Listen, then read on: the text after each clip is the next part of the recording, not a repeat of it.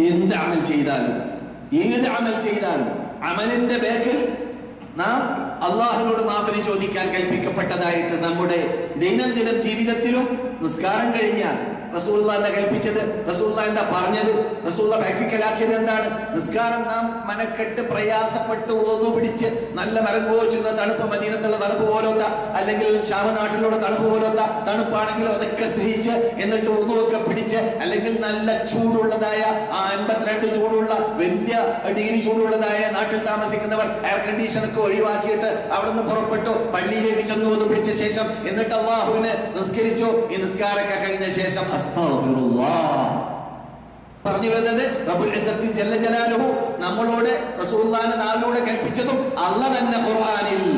ഹജ്ജ് കഴിഞ്ഞാൽ എന്താ ഹജ്ജ് എന്നൊക്കെ പറഞ്ഞു നിങ്ങൾക്ക് അറിയാമല്ലോ നമുക്കൊക്കെ ഹജ്ജിനെ കുറിച്ച് പരിചയമുണ്ട്. ഹജ്ജ് ചെയ്യാത്തവരാണെങ്കിലും കേട്ട് പരിചയമുണ്ട്. അത്രയും പ്രയാസപ്പെടുന്നതായ ഒരു അമലാണ്. പ്രയാസപ്പെട്ട് സാമ്പത്തികമായിട്ടും ശാരീരികമായിട്ടും യാത്ര ചെയ്യുന്ന സന്ദർഭത്തിലും വളരെ വളരെ മനക്കെട്ട് ചെയ്യുന്നതായ ഒരു അമലാണ്. മറ്റേത് അമലുകളിലും ഇല്ലാത്ത പ്രയാസമുള്ളതായ അമലാണ് ഹജ്ജ്. ഈ ഹജ്ജൊക്കെ ചെയ്തതിന് ശേഷം അറഫയിൽ താമസിച്ച് അറഫയിൽ നിന്നിട്ട് മടങ്ങി വരുമ്പോൾ കേൾപ്പിക്കുന്ന ശൈലിയുണ്ട്.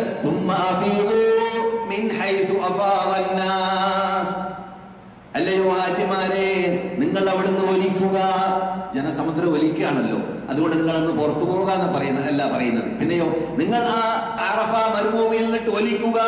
എവിടേക്ക് ഒലിക്കേണ്ടത്? എങ്ങനെ ഒലിക്കേണ്ടത്? മിൻ നിങ്ങൾ ആ ജനങ്ങൾ ഒലിക്കുന്ന വഴിയിൽ കൂടി ഒലിക്കുക. അറഫയെ കുറിച്ച് പറയുകയാണോ? അല്ല അതിനുശേഷമുള്ള പ്രവർത്തനത്തെ കുറിച്ച് പറയുകയാണോ? മുഫസ്സുകളുടെ ചർച്ചയുണ്ട്. ഏതായാലും ആ സൽക്കർമ്മങ്ങൾ ചെയ്ത ശേഷം അള്ളാഹുവിന്റെ ആ കൽപ്പനയാണ് നിങ്ങൾ ഒലിക്കുക എന്ന് പറഞ്ഞ സന്ദർഭത്തിൽ അള്ളാഹു പറഞ്ഞത്? നമ്മുടെ വിഷയം നിങ്ങൾ മാഫി ചോദിക്കുക.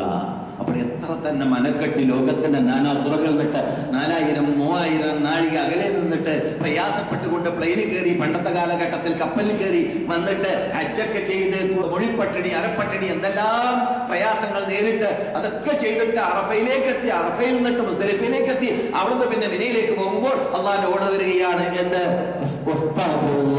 നിങ്ങൾ അള്ളാഹുവിനോട് മാഫിന് ചോദിക്കുക.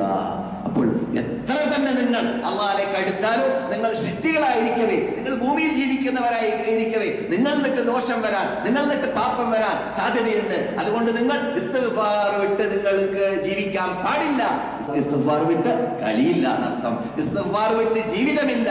അപ്പോൾ എന്നും ഏത് സന്ദർഭത്തിലും സൽക്കർമ്മങ്ങൾ ചെയ്തുകൊണ്ടേയിരിക്കുന്ന സന്ദർഭത്തിൽ വരെ അസ്തഫുറുള്ള എന്ന് പറഞ്ഞുകൊണ്ടേയിരിക്കണം. അതുകൊണ്ട് ആ നമസ്കാരത്തോട് വിടവാങ്ങിയ ശേഷം അസ്തഫുറുള്ള അസ്തഫുറുള്ള അസ്തഫുറുള്ള എന്ന് പറഞ്ഞ ശേഷമാണ് ശേഷമുള്ള ദിക്റുകൾ ചെല്ലാൻ നമ്മുടെ കണ്ണിലൊടിയും ഈ സ്ഥലത്ത് നമസ്കരിച്ചവനാണെന്ന് പറയപ്പെടുന്നവരുമായ നബിഗുന മുഹമ്മദ് റസൂലുള്ളാഹി സല്ലല്ലാഹു അലൈഹി വസല്ലം കേൾപ്പിക്കാൻ കാരണം.